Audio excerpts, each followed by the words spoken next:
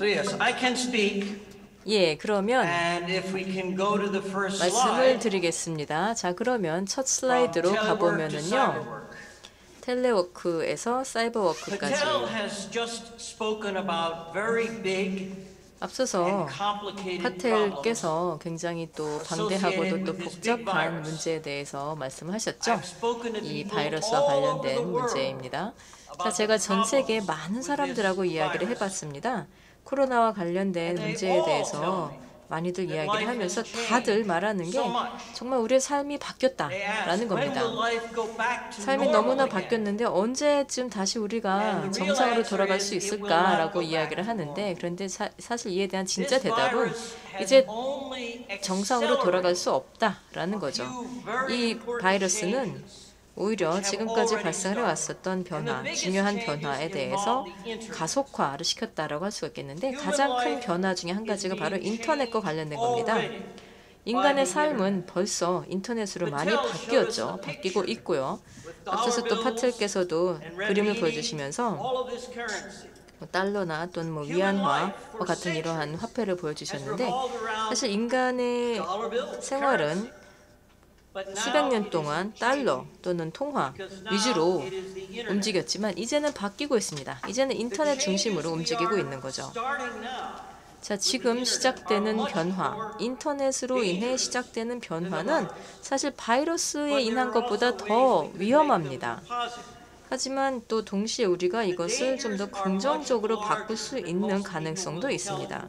자, 그런데 위험만 놓고 보았을 때는 사람들 생각보다 훨씬 더 크다고 할 수가 있겠습니다. 이런 말씀 드릴 수 있는 이유는 제가 몇 년 동안 전 세계에서 가장 첨단 연구를 이끌었었기 때문입니다. 이 슬라이드에도 areas. 제가 NSF에서 세 개 분야에서의 연구를 이끌었는데 그 중에 한 가지가 바로 새로운 인공지능입니다.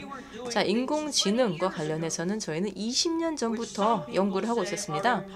많은 사람들이 어, 그게 어떻게 가능했을까라고 생각들을 하시죠. 그래서 지금도 불가능하다라고 하는 일을 저희는 20년 전에 했었던 겁니다. 10년 전만 하더라도 뭐 예를 들면 과학 분야의 저명한 교과서에서도 뭐 기계 학습으로 이러이러한 것들을 할 수가 없다라고 하는데 저희는 10년 전에 이미 한 겁니다. 자, 이제서야 컴퓨터 학자들이 아 이제 뭐 인공지능을 가지고 많은 것을 할 수 있구나라고 생각들을 하는 거죠. 불가능하다고 생각했었던 것이 많은 것이 가능하구나라고 합니다. 하지만 저희는 진작에 알고 있었다라는 겁니다. 자 그런데 또 지금 국가과학재단이나 또는 IEEE 등에서 하고 있는 그러한 연구나 또는 기술 개발들이 사실 많은 사람들이 많은 과학자들이 가능하다고 생각하는 범주를 벗어난 것들이 굉장히 많습니다. 자 그런데 동시에 이러한 것들이 또 상당히 좀 우려스럽고 무섭다라고도 할 수가 있을 정도입니다. 제가 뭐 한 번은 트렌트 프랭크라는 의원님과 함께 회의에 참여를 했었는데요. 이제 이분께서 미 하원에 미 하원에서 미래 위험에 대응하는 상임위원회 위원장을 맡으셨습니다. 자, 그래서 그때 제가 이분하고 이야기를 하면서 이렇게 말했었습니다. 지금 하시는 일이 굉장히 참 무서운 일이십니다. 굉장히 많은 우리가 하는 모든 무서운 일들이 무서운 일들에 대한 정보를 받아보시게 될 겁니다. 라고 이야기를 하셨습니다.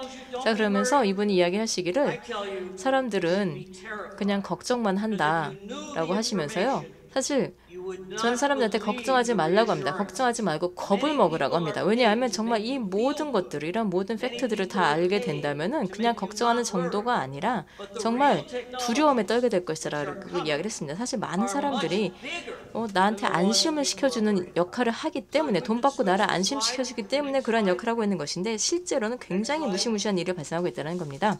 자, 다음 장으로 넘어갈 수 있을까요? 예. policy communities.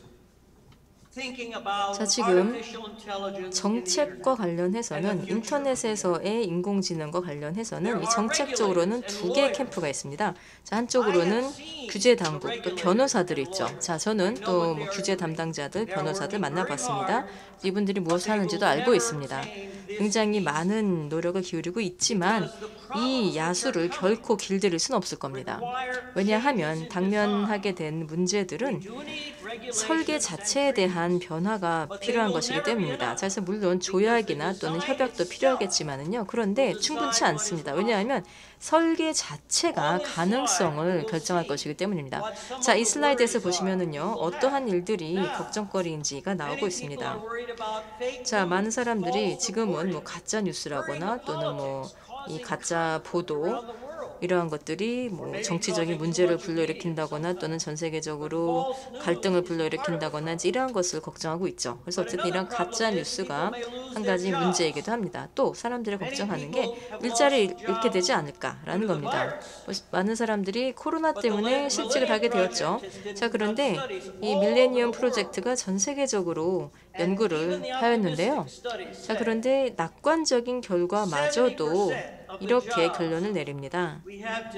오늘날의 일자리 중에서 70%는 사라질 것이다. 자, 물론 이 문제를 해결하고자 하는 대안은 뭐 이론은 여러 가지가 있죠. 하지만 어쨌든 이 기술적인 변화라는 것은 코로나로 인한 변화보다 훨씬 더 규모가 크다라는 겁니다. 그리고 사실 70%가 넘을 수도 있습니다. 사실 이제 많은 사람들이 AI에 대해서 저만큼 이해하지 못하는 이제 그런 사람들도 여기에 포함이 되어 있었을 텐데요. 자, 사실 인간이 하는 거의 모든 일, 인간이 하는 거의 모든 일은 인터넷과 컴퓨터로 대체할 수가 있습니다. 그리고 기술은 굉장히 빠른 속도로 발전하고 있고요. 자, 그래서 예를 들면은 뭐 은행가들은 아, 뭐 트럭 기사들이 일자리 잃겠구나라고 말을 하면서 사실 은행가들 또는 변호사들도 대체될 수 있다는 것은 스스로도 모르고 있는 거죠. 트럭 드라이버만의 문제는 아니다라는 겁니다. 자, 그래서 이것은 뭐 보편적인 문제입니다. 일자리 문제도 있고 또 그리고 데이터 문제도 있고 또 터미네이터 에 대해서도 걱정을 하죠. 예를 들면 뭐 사람들이 이야기를 하죠. 터미네이터 2 같은 이제 이러한 무서운 영화 이건 다 sci-fi다, SF다, 믿을 필요 없다. 그래서 이런 뭐 살인 로봇 같은 이런 무기는 만들지 못할 것이다라고 이야기를 하는데 사실 기술은 오늘날의 기술은 이것보다 더 많이 발전했습니다. 사실 저도 여기에서 유죄라고 할 수 있겠네요. 저도 이러한 툴 중에 일부를 개발하는데 일조했으니까요. 어쨌든 이러한 모든 기술이 다 합쳐지게 된다면 하나의 시스템이 되는 것이죠. 자, 그래서 이러한 모든 정말 나쁜 문제를 해결할 수 있는 유일한 방법은 설계 자체, 그래서 기초적인 인터넷 시스템에 대한 설계 자체를 바꾸는 일입니다. 자, 그래서 완전히 새로운 형태의 인터넷 시스템에 대한 설계가 필요하다라는 거죠. 그래서 사람을 위해서 복무하도록 해야 됩니다. 사실 이제 많은 뭐 법조인들이 인터넷과 관련된 법을 만들죠. 그런데 이렇게 법조인들이 많습니다. 그런데 인터넷 자체에 대해서 새로운 시스템에 대해서 설계하는 사람들은 소수에 불과합니다. 그런데 사실 이런 새로운 시스템이 가장 중요한 겁니다. 다음 장이요.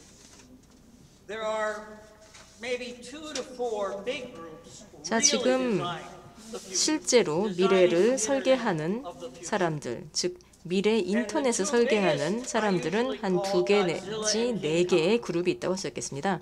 그래서 이제 가장 큰 두 개의 그룹은 제가 보통은 고질라 아니면 킹콩이라고 부르는데요. 왜냐하면 새로운 인터넷 시스템을 설계하는 사람들, 그래서 우리가 이기고 우리가 통제를 하고 우리가 관리를 하려고 하는 그러한 사람들 또는 그룹 중에서 이제 가장 큰 그룹이 중국이라고 할 수 있겠습니다. 중국은 새로운 통화 또 새로운 교환 절차를 만들게 되면서 그래서 기존의 화폐를 완전히 무용지물로 만들 수도 있을 것입니다. 그렇다면 예를 들면 뭐 은행이라거나 또는 뭐 금융 조치를 통해서 뭔가를 할 것이다. 그게 아니, 아니라는 겁니다. 완전히 새로운 통화 시스템을 만들어낼 수 있다는 것이고요. 자 그리고 또뭐 군사적인 측면도 있고 또 인간을 관찰을 하고 또 인간에 대한 통제를 하는 그러한 시스템까지도 나아갈 수 있다는 것이죠. 사실 저는 많은 궁금한 것이 공산당에서 정말 노동자들에 대해서 걱정을 하는가? 노동자들은 어떻게 되는 것인가? 저는 중국에서 중국에서 학생들 이야기를 들었습니다. 마르크스론을 읽으면서 자, 뭐 노동자들에게 힘을 이런 이야기를 하면서 자, 그런데 또 공, 중국의 공산당에서는 아, 우리는 그런 공산주의가 아니다라고 하면서 그래서 노동자들한테 힘을 실어준 그런 공산주의가 아니다라고 하는데 사실 그런 방향으로 나아가게 될지도 모르겠죠. 자, 또 미국에서도 지금 현재 굉장히 또 빠른 속도로 이렇게 인터넷에 대한 새로운 인터넷을 설계해 나가고 있는데 자, 제가 한 가지 굉장히 중요한 메시지를 말씀드리자면 이 둘 사이의 갈등 때문에 우리의 미래가 굉장히 어두워지고 있다라는 겁니다. 미중의 갈등으로 인해서 굉장히 암울한 미래로 나아갈 수 있다는 겁니다. 자, 그래서 제가 보기에는 우리를 구할 수 있는 가장 큰 희망은 여러분입니다. 한국입니다. 왜냐하면 한국이 전 세계적으로 굉장히 독특한 장점을 많이 가지고 있기 때문인데요. 그 중에 한 가지가 바로 한국에서는 이게 어려운 상황이다라는 것을 잘 인식하고 있기 때문입니다. 한국에서는 알고 있는 거죠. 어려운 상황이다. 여기서는 우리의 지능이 필요하다. 이걸 알고 있다는 건 인식이 있다는 것 자체가 굉장히 큰 장점입니다. 문제가 있다는 것을 아는 것 자체가 장점인 것이고 또 그 외에도 기술도 있고 과학도 있고 또 네트워크도 있는 겁니다. 그러니까 다시 말해서 미국의 시스템, 중국의 시스템에 대한 이해도가 있다는 거죠. 그런 만큼 한국이 독보적인 위상을 갖고 있다라는 겁니다. 다음 장이요. 자, 새로운 인터넷을 설계한다라는 것은 기술적으로 굉장히 복잡한 일입니다. 자, 그래서 사실 제가 여기에 대해서 길게 말씀드릴 필요는 없다고 보고요. 자, 그래서 여기에서는 그냥 몇 가지만 인용을 해보도록 하겠습니다. 어쨌든 제가 이제 이 슬라이드에 이런 내용을 정리한 이유는 한국이 아까도 말씀드렸듯이 한국이 새로운 인터넷 설계에 있어서 새로운 코디네이터가 될 수 있다라는 것을 말씀드리기 위한 겁니다. 자 그리고 또 그런 과정에서 미국과 또 중국과 파트너십이 되어야 하겠죠. 자 그래서 많은 나라들이 파트너십을 원하겠지만 자 그런데 한국 같은 경우는 아까도 말씀드렸지만 미국하고 중국하고 이러한 인연이 있기 때문에 한국이 중심적인 역할을 할 수가 있다라는 겁니다. 뭐 삼성이라거나 또 KIST와 같은 이러한 기관들도 있고요. 제가 여기에도 방문했었었는데 그래서 이런 기업이나 이런 기관들 정말 너무나도 뛰어납니다. 자, 그래서 여기에 나와 있는 네 가지 시스템. 네 가지 시스템들은 다 반드시 개발이 되어야 하는 것들이고요. 자, 그래서 이러한 차트는 사실 뭐 정치인의 차트가 아니고 이는 시스템 설계입니다. 간단해 보이겠지만 그런데 이 차트는 이는 하나의 로드맵인 거죠. 미래로 나아가는 로드맵으로서 이에 대해서는 반드시 분석을 하고 또 이행을 해 나가야 됩니다. 그래서 이제 왼쪽 상단을 보시면요. 지속 가능한 지능형 시장이 필요하다라는 것인데요. 여기에서는 뭐 사이버 통화라거나 또는 언론의 자유 또 자유로운 정보 정보 교환 방식 등등 자 굉장히 좀 복잡한 그런 주제들인데요. 또 그 외에도 뭐 첨단 신경망 수학 등도 필요하고요. 이제 이러한 것이 있어야지만 또 진실에 대해서 이해를 할 수가 있는 것이고요. 또 그리고 컴퓨터 학자들이 물론 이 기술적인 언어도 알아야 되지만 더 중요한 것은 진실입니다. 그래서 이런 진실은 굉장히 복잡한 수학적인 공식이 필요한 것인데 근데 우리가 이런 수학적인 기술을 가지고 있고 또 한국에서도 이에 대한 기본적인 이해가 다 있는 것이죠. 자 그리고 또 뭐 운영 체제에 대해서도 OS 등등 이제 이와 관련해서도 위험도 있죠. 예를 들면 해킹들도 있고 그렇기 때문에 이에, 이에 대해서도 계속 개발해 나가야 되고 그러한 만큼 미국과 중국의 협력이 필요하다라는 겁니다. 자, 이게 기본적인 아이디어인데요. 자, 제가 시간이 제한되어 있는 것을 잘 알고 있습니다. 어쨌든 이 네 가지 박스, 이 네 가지 요소들은 잘 코디네이션을 해서 그래서 아주 상세하게까지 계속 발전시켜야 된다고 봅니다. 그리고 한국이 아까 말씀드린 그런 독보적인 역량을 계속 키워나갈 수 있기를 바랍니다. 왜냐하면 전 세계가 여기에 의존을 하게 될 것이기 때문입니다. 이 새로운 결과물, 새로운 인터넷은 전 세계에 중요한 것이 될 것이기 때문입니다. 자, 시간이 남아 있으면 제가 마지막 슬라이드로 건너뛰어도 될까요? Okay. Um, oops. Ah, we jumped ahead. Okay. 네, 건너뛴 것 같습니다. internet. 인터넷 설계에 있어서 여러 파라다임이 적용될 수 있습니다. 제가 국립과학재단에서 일을 했을 때 대기업분들이 아, IoT와 관련한 계획을 갖고 있었습니다. 세계 미래를 위해서. 어떠한 계획을 갖고 있는지를 제가 보게 되었고 정말 끔찍한 일이었습니다. 좌편에 보이는 이런 계획, 왓슨이라는 계획이 있었습니다. 아주 무서운 계획이고 또 새로운 계획이 있습니다. 이건 마찬가지로 안 좋은 계획입니다. 그런데 여러 가지 수학적인 도구 또 과학적인 도구들이 있습니다. 이런 새로운 도구들을 활용한다면 희망적으로 더 나은 시스템을 우리가 협력을 통해서 만들어낼 수 있습니다. 또 우리가 제대로 더 나은 인터넷을 설계하고 개발하기 위해서 협력한다면 그 미래도 가능할 것입니다. 다음 슬라이드입니다. 이전에 보셨던 내용이긴 합니다만 보다 기술적인 내용들을 집약하고 있습니다. 신경망 있었고, UJ라는 신경망이 있고 그리고 또. 뉴스피어가 있습니다. 이 모든 것들 매우 필수적인 요소입니다. 그래야만 이 위대한 계획을 실현에 옮길 수 있습니다. 다음 슬라이드 보겠습니다. 그래서 궁극적으로 아, 앞서서 제가 말씀드리지 않은 내용 강조하겠습니다. 제가 이렇게 새로운 얘기를 말씀드리는 것은 이 기술을 잘 아는 사람이기 때문입니다. 그러면 여러분들이 왜 저를 믿어야 할까요? 이 장표가 가장 제 발표에서 중요한 부분입니다. 그래서 이 부분에 대해서 추가적으로 연구를 하시고자 한다면 이 부분에 초점을 둬야 됩니다. AI와 관련한 최첨단 기술들이 다음 주에 논의가 될 예정입니다. 아, 그래서 이 computational intelligence라고 하는 연산 아, 지능과 관련한 국제 회의가 개최될 것이고 여기에서 아, 여러 가지 연구, 최첨단 연구가 공유될 것입니다. 이는 아마 여러분들이 언론에서 접할 수 있는 그 내용을 넘어서는 최첨단 기술들입니다. 미국에서 AI에 펀딩을 하는 이 투자자들이 와서 실제 아, 논의도 할 것이고 앞으로 미래 모습에 대한 구상을 발표할 것입니다. 그래서 미래가 정말 어떻게 변할 수 있는지, 특히 AI 최첨단 기술과 관련해서 우리가 맛볼 수 있는 그런 기회를 설명하게 될 회의입니다. 또 유튜브를 가시게 되면 그 전 동영상도 담겨져 있는데 제가 한국에서 했던 강연도 있습니다. 월버스 AGI를 검색해 보시게 되면 아, 제가 정책 아, 도전 과제와 관련해서 발표한 강연 내용을 보실 수 있을 것입니다. 그래서 이 하단에 보시게 되면 더 중요한 내용입니다만 네, 이것으로 뭐 충분하지 않을까 저는 생각합니다. 아, 이렇게 경청해 주셔서 진심으로 감사드립니다. 큰 박수 부탁드립니다. Thank you. Dr. Still, I Wolbers, cannot hear. can you hear me now? Wait, Can you hear me? I hear a little bit, No? a tiny bit. The volume is very low. 네, 소리가 크지는 않습니다. 아주 미약하게나마 소리는 들어옵니다. I'm sorry. Can you hear me?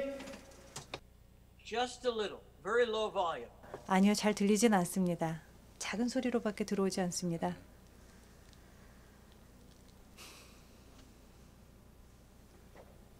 아쉽습니다. 질문을 많이 준비하고 있었는데